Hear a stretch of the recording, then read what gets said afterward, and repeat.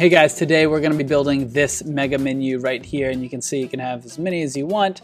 Um, and before we get started, I'm going to show you how to build that just with code. But before we get started, I just wanted to show you I have a really easy way. If you just want a way to add a mega menu, I have a plugin, it's $10 and really it's super simple to edit. All you got to do is you got to add a section down here in your footer and you just got to add this one little code block right there, that data mega menu, and then attach this link to whatever the folder link you had right at the top. So it's really easy to add this. Obviously there's one more piece of code, so don't just copy this and expect it to work. There's one more piece of code that I'll give you if you buy it, uh, but this is really what we're, this is the simple way. If you want to learn the coding way, how to do it, how to code it yourself, stay tuned. That's what we're going to be doing right now. All right, guys, welcome. Here is the article on my website, super easy mega menu for Squarespace 7.1. Uh, let's just scroll down here to the project breakdown and sort of talk about what we're going to be doing right now. So the first thing that we're going to do is we're going to add a section to our footer. Then we're going to add the folder that we want it to go to. Then we're going to write some code that's going to do the actual moving, and I'll talk a little bit about that, and then some CSS to style it and make sure it looks the way we want it to do. And then, of course, we need to check it on mobile. So that'll be the last thing. So those are our five steps. All right, step one, let's create the footer section that we want to become our mega menu. So if you hit your edit button on any page on your website, because your footer is going to be on every single page on your website, that's also why we're doing it in the footer. You can scroll down to the bottom and hit this edit footer button. It sometimes is a little bit elusive. So hit the edit footer button and then add a new section. You can see I've already created the, the content that I want down here. I've added a new section, then added it on the blocks that I want and made it how I want to look. So I'll let you pause the video, go do this right now, build out your mega menu the way you'd want, but as a section in the footer. I've also created a second one here. I'll, don't, no need to do that right now, just create one. All right, step two, let's add the main nav item. So over here into pages, you're gonna wanna click this plus icon, hit folder, and then create this folder, call it whatever you want. I think I called mine's men's uh, men's clothing, and I'd also do a women's clothing one later. So, and then hit this gear icon, then change the URL slug to men's clothing or just you can make this whatever you want. You don't have to put the words mega menu or anything in there. Just create this as the whatever you want and we will remember what it is because we're going to use this later. All right step three. What we want to do is grab our footer section right here and we want to move it up here. This is a drop down but I have no content in it right now. So why don't we just do that? Why don't I just grab a category and drop it into here's my folder and just drop it in there. So you'll see a little drop down. You can see that drop down right there as I hover over it. So we want to add that footer section into this drop down. So for this, we're going to use jQuery. And so this is a JavaScript plugin pretty much that allows us to write JavaScript, but in a much more clear, more easy to understand syntax. So first things, if you don't have jQuery installed, open up a new tab, just type in uh, J, jQuery CDN, content delivery network, and this is just gonna make sure jQuery gets loaded on your website really fast. Hit this minified button, copy that, copy that, hit that button to copy, go back to your website, go to Home, Settings, Advanced, Code Injection, and then paste it in here at the top. You see, I already have jQuery installed. I already have the link within the script right there, so I'm not going to do it again. But if you don't have it, make sure you paste it in there. So save that. We'll go back. Now jQuery is installed on your website. It's pulling in that code due to that script link, and now we can actually write jQuery. So I'm going to go back to our page here, and let's write that code. So what do we want to do? We want to, in jQuery syntax, it's called append. So we want to find this folder item in the code, in the HTML.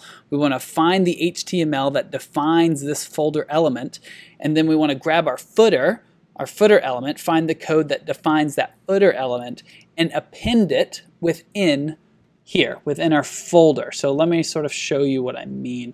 Let me just show you a quick little demo of what append does. So pretend this is our folder section, and I've defined it as gray with our CSS here. So our folder is our gray block right here, and our footer section is our red block right here. What append does is it selects this. If we put in the right selectors, it selects this, deletes it from there, and adds it into there. So it makes it the child element of what we've selected. So this is what it would look like. It moves that red block from down here and puts it inside this folder. So that's what we're doing. And I will show you real quickly.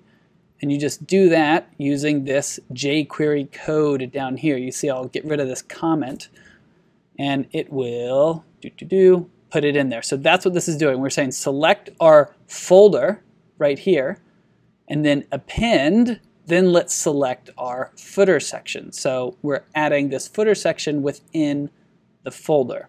So that's the general idea of what we're going to be doing, but we obviously need to use the right selectors and select the right elements, the HTML elements on our page. So let's take a look at how do we do that? How do we find those selectors? So first thing, we need to find something that is that is unique. We need to find whatever is unique about this drop-down box. And honestly, the most unique thing, if we look at our HTML here, we have this href. And so this is this is the link. So if I click on this, it goes to men's clothes. That is the unique link. No other no other header item can have that link, or else you'd have. I guess you could have multiple, but you don't really want to. So this is our unique link that we're going to use. So we want to select our a our href here. And also, Squarespace breaks down the, the header items into our, you have your, your header that's on desktop and then your header that's on mobile. And those are two separate elements. And you can see that if we scroll up a little bit, you see this class header display desktop and header display mobile. And so what you see on mobile here, do do do, oh, that's gonna pop me out what you see on, it's going to refresh everything. Well, that is frustrating, huh?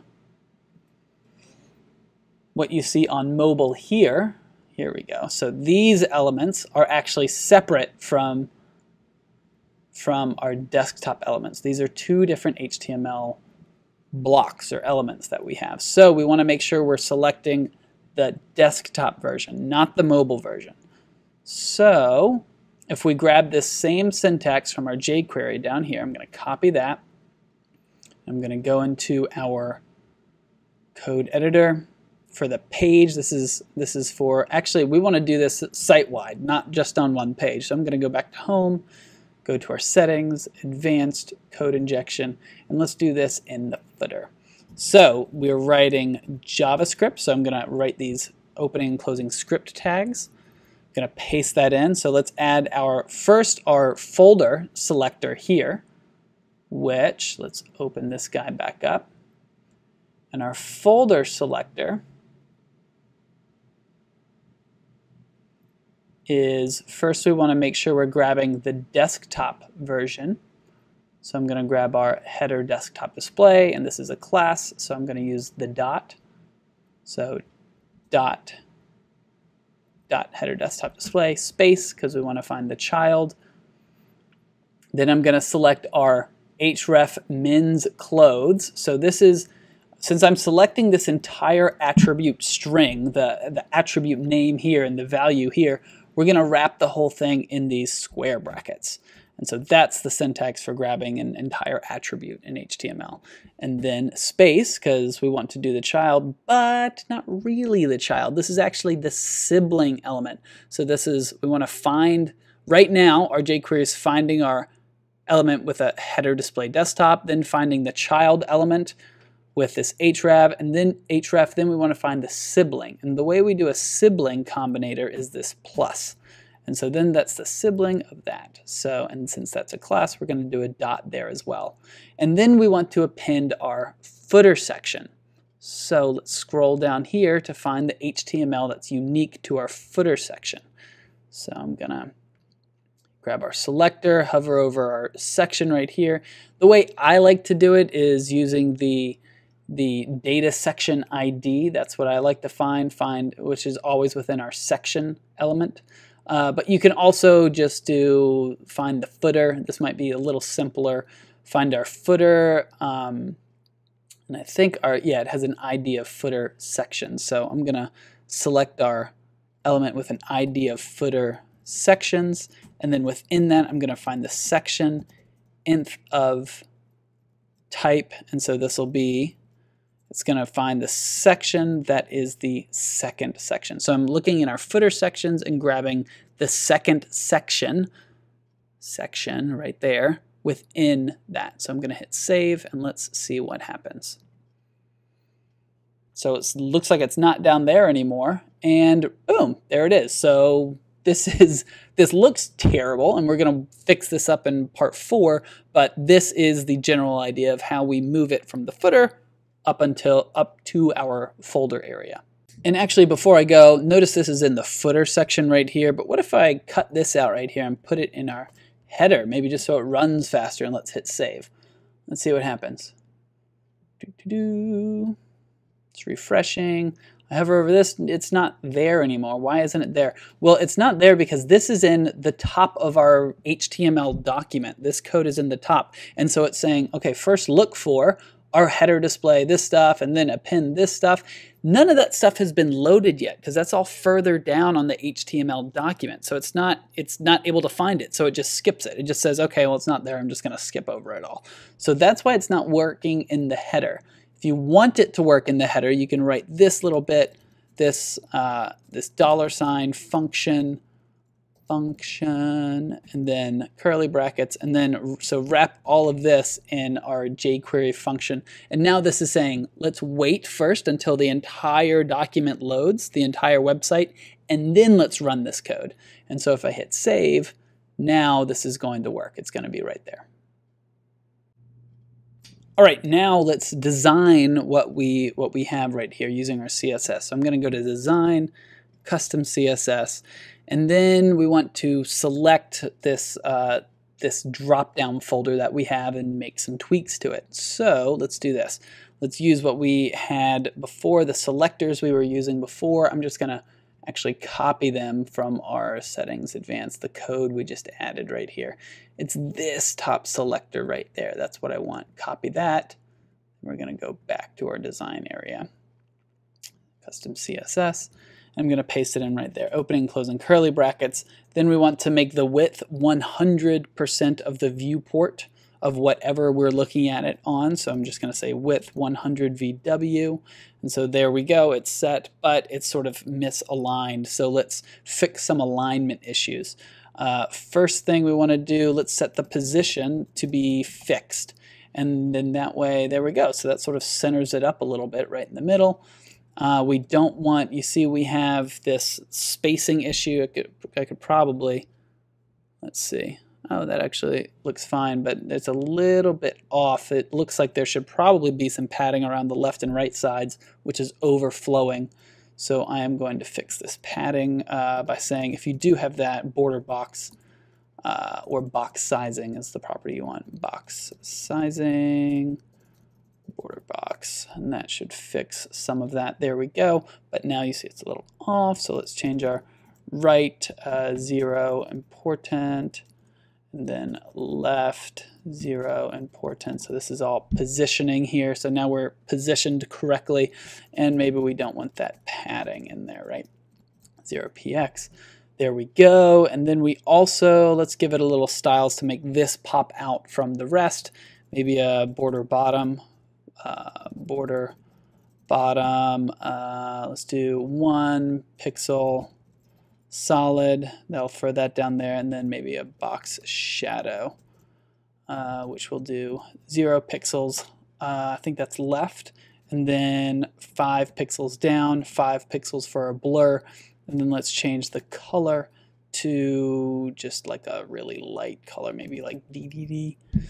There we go. Uh, that's probably too white, so let's do like 888. There we go. That looks nice. So now we got a little blur down there. Doo -doo -doo.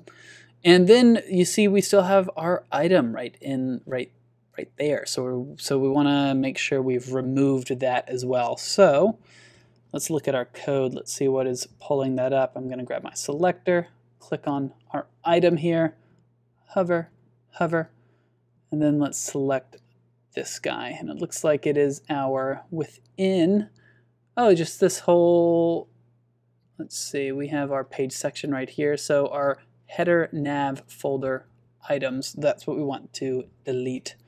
So I can do those and display none, but that's going to display none of them on any of your websites. So we only want to do those that are specific to that. So there we go. So that is the code we're going to use to not have it display there. Finally, let's make sure this looks good on mobile. So I'm going to make this mobile view, hit men's clothes. It's just this one category. So you can see this mobile is going to take whatever items that we put in our folder in our pages section right here. So if you want to add more folders, more items within there, these are going to pop up here. So in, in my case here, I might add like men's clothes, hats, women's clothes, shoes, dog clothing, those as my category items in here. So on mobile, it would be really easy to navigate to. Okay, and let's say I wanted to add another mega menu down here. Well, I'd do the same thing. I'd create this section down here in my footer. I'd come over to our pages. We'd add that next folder in there. The URL for this folder, just quickly running through the steps, is women's clothes. So I'm going to go back to home, settings. We're going to duplicate the jQuery that we added in our code injection page header area. Let's copy that and then let's paste it in right below, still within our curly brackets here, within there. And we want to change this to women's clothes, but don't, no need to change that because you see once this runs, then our second section is automatically there. It just pops up there already. So this we're still wanting, this is our first footer section. We're still wanting to grab the second footer section because it's sort of moving up in the line. So when I hit save here, this should pop up, but it's not styled in the same way as we are here. So let's just change our CSS to add in the same sort of selectors that we have up here. So you see we have our men's clothes here after all of this, right before our curly bracket, I'm just going to do a comma to say let's add another selector we want these styles to apply to. Then paste that in there and change the URL to women's. And there we go. And then we also need to delete those. So we're going to do the same, same thing down here. Change that to women's. And boom, there we go. So we are done on both of those. So that's how you would add multiple. Again, I have some code that you can just drop in there. It makes it really easy to update. Also, the one problem with this method of doing this, it makes it difficult to go in and edit these when you want to edit these. If you need to edit it, you have to go to our settings, advanced uh, code injection, and you have to disable this code by just commenting this out. You can do uh, forward slash star and then at the end star backslash comments it out and then none of this code is going to work. So then we can go in and edit it and change these footer, the elements down there and then redo it. So the, the plugin allows you, you can just edit it normally. You don't have to go through that process every time. It'll just show up in the footer and you can edit it only in the editing mode, of course. Um, so there's the difference. So hope this helps. Let me know if you have any other questions or styling tweaks you'd like to do. Um, subscribe, do all that stuff, and let me know if you have any questions. Take it easy.